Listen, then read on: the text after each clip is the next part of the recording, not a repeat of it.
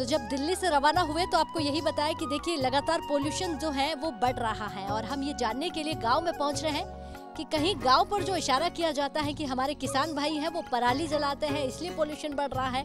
तो इस बात में कितनी सच्चाई है उसके लिए हमारी चौपाल जो है वो तैयार हो चुकी है। है पराली की लेके जाते हैं लोग? हाँ लेके जाते हैं शहरों में? शहरों में लेके जाते गाँव में लेके जाते। कितने कितने सालों से आप ये काम कर रहे हैं? पराली को चारे के रूप में लेना और ना जलाना। ये हम तो जब से खेती कर रहे हैं जी इसी के काम में ले रहे हैं। हमने कभी आग नहीं लगाई आज तक। कि सरकार की तरफ़ से सुपर सीडर पर सब्सिडी मिलती है? कितनी सब्सिडी मिलती है एक लाख पाँच हज़ार के आसपास मिल जाती है। हरियाणा से देखिए पराली प्रबंधन पर चौपाल चर्चा 9 नवंबर बुधवार सुबह 9 बजे।